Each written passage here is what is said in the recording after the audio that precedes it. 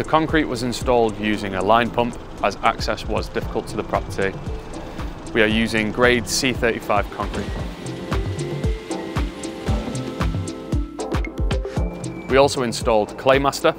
This prevents the shrinking and swelling of the clay from causing problems to the foundations in future. A rake is used to distribute the concrete to the desired areas and the concrete is finished using a tamp and laser level.